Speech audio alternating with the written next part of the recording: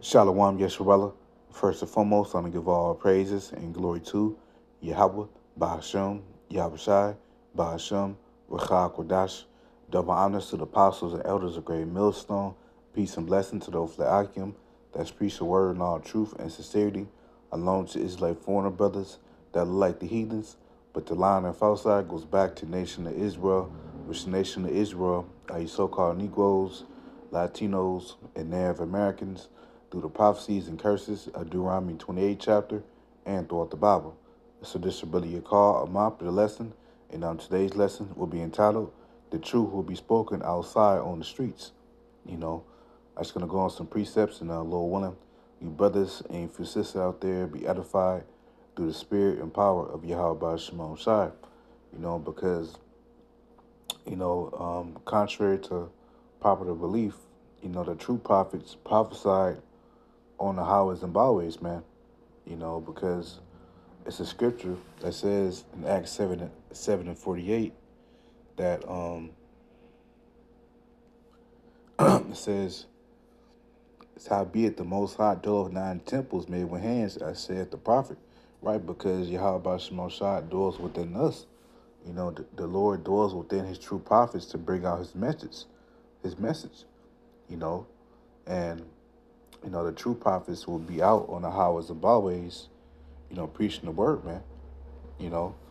So I just want to go into a lesson on it. And um, once again, you know, Lord willing, you brothers and you sisters out there be edified through the spirit and power of Yahweh Shemel Shai. You know. And I'm going to start from the book of uh, Proverbs, chapter 1 and verse 20. It says, Wisdom cried without. She uttered her voice in the streets. And right, it's look that word without. You know, it's talking about the wisdom out the Bible and the wisdom of the scriptures of, that comes from Yahweh by Shimon Shai. You know, spare me one second, Aki. You know, uh, without is from the Hebrew word which means outside. You know, outward street, the outside. So the wisdom, the truth will be speaking, will be preached outside. You know, it says, um, verse 21, it says, She cried in the chief place of concourse. And right, the chief place of concourse is where a lot of buying and selling is at, where a lot of foot traffic is at uh, on the um uh your metropolitan type areas, you know, your, your malls, your shopping centers, you know, your Targets, your Walmarts, you know. It says, in the openings of the gates in the city, she uttered her words saying, How long you simple ones will you love simplicity? And right, you know, because the simple ones implies to two thirds of our people that don't want to repent. They want to still be living this, you know, they still want to be engulfed in in this in this world, man. You know, they still want to celebrate all these pagan holidays, Christmas, Halloween, Thanksgiving. You know, they still want to try to make this world at rest. You know, so they are in a state of simplicity, and the true prophets will condemn them from that, man. From for them being simple, for the two thirds of our people, the true prophets will condemn the two thirds of our people for them being simple.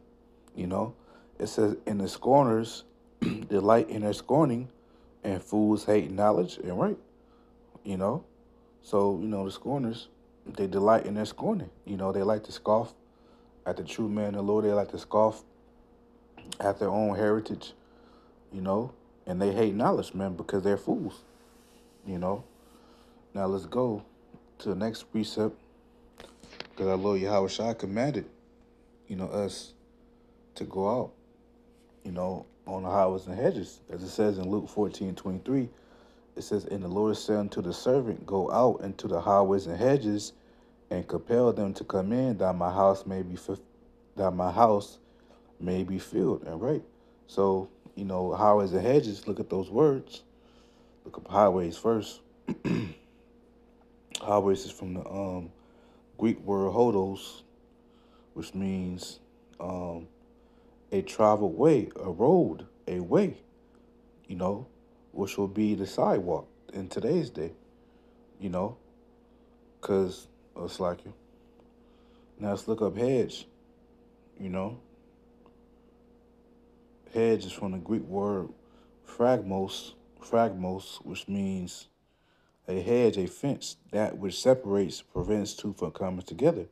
And right, and that's the sidewalk separated from the street, but the sidewalk is separated from the, the actual street that the cars, uh, um, socket of roads that the cars pass by in. I just looked up, you know, hedge of a street, and this came up, you know. So you got the sidewalk on the right hand side, and you got the the road on the left, you know. And see, this is a hedge. So that's talking about, you know, uh, the word is going to be preached outside on the streets, man. You know, it says, and compel them to come in and compel. Let's look at the word compel, you know, as the apostles, elders, a great millstone always taught us, we must go into the words to get understanding of them, you know.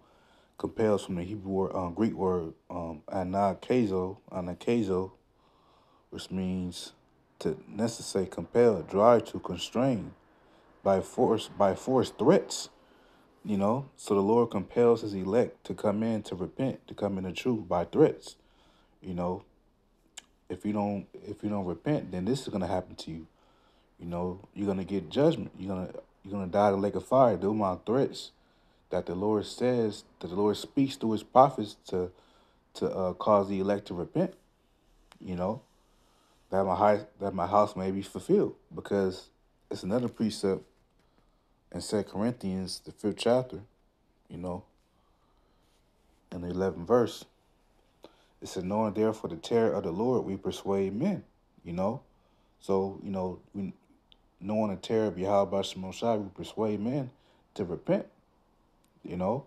But we are made manifest unto Yahweh, and I trust also are made manifest in your consciousness, man. You know, so, you know, we persuade men to, to repent, you know. Is it that word persuade? It's from the Greek word paito, paito, which means persuade, to persuade, to induce one's one, to induce one by words to believe. And of course, that's on the right hand side, you know. Um, it says to, we go to D, it says to persuade unto, i.e., um, move or induce one to persuasion to do something, man. You know? And that's by way of repentance, you know? Through the fear of Yahweh Shimon Shad, man. You know? Now let's go to another precept in Matthew 22 in verse 9.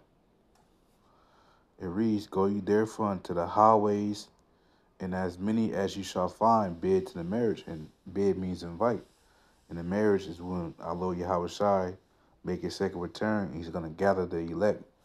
They're going to be reunited, and that's the marriage, you know, because, you know, the nation of Israel is the um the woman of the Most High. You know, we are, as it says in Jeremiah 6 and 2, you know, Jeremiah 6 and 2, it says, I have lo- I have likened the daughter of Zion, which is another name for the Israelites, to a comely and delicate woman. Right. So, you know, we are nation of Israel is a woman in the eyes of the Most High Yahweh. So when Yahweh Shai comes back, you know, the marriage, he's gonna uh, deliver the elect, and they're gonna be joined to him, which will be the marriage. You know, and um, go to more precepts. It's Matthew 11 verse 16, it reads, But whereunto shall I liken this generation? It is like unto children sitting in the markets and calling unto their fellows and right. You know, and children represents the prophets, you know, and their fellows represents other Israelites, you know, calling other Israelites to come into faith. You know, of course, starting with the elect, you know. And let's look at that word markets.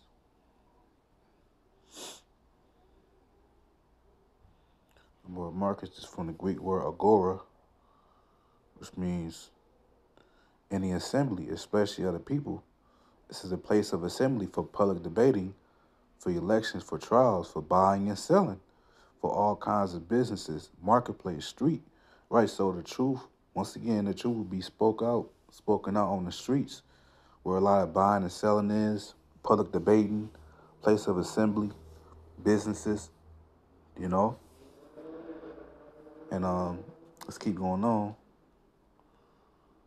Verse uh, verse seventeen, and saying, "We have piped unto you, and you have not danced," because the scriptures say, you know, um, you know, they they sung, they they, they shout, the the elect will sing a new song, which is the truth, you know.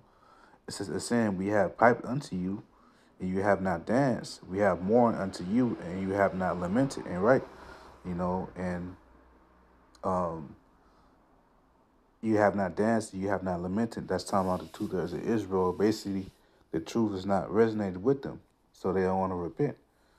You know, just like you know with actual song, you know when you play a song, some people, some people like the song, some people don't. So, same with this truth.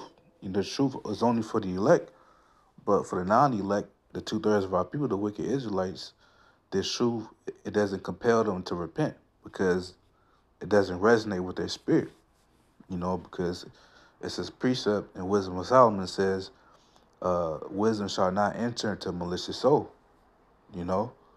So um, this truth is only for the elect.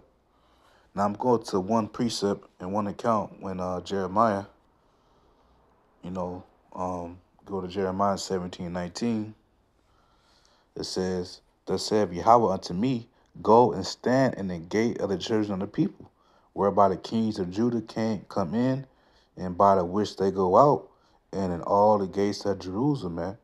You know, because the, the, the gates were the was where the judges was at, the judges of Israel. So, you know, a lot of stuff going on around, around that area. So the prophets were, were also by the gates as well, which was outside, you know, and I'm gonna um, read this quick article I had um, looked up some months back. You know, just to uh, give more um, info, you know, on the on the um on the gates of the city and stuff. You know, so just give me one second. I don't want to find it real quick. You know. Yeah, I found it right here. Akim says, and this is from GotQuestions.org. You know, it's a good website. You know, um, it says, What is the significance of a city gate in the Bible? You know, it says, Besides being part of a city's protection against invaders, city gates were places of central activity in biblical times. It was it was at the city gates that important business business transactions were made, court was convened, and public announcements were heralded. Accordingly, it is natural that the Bible frequently speaks of sitting in a gate or of the activities that took place at the gate.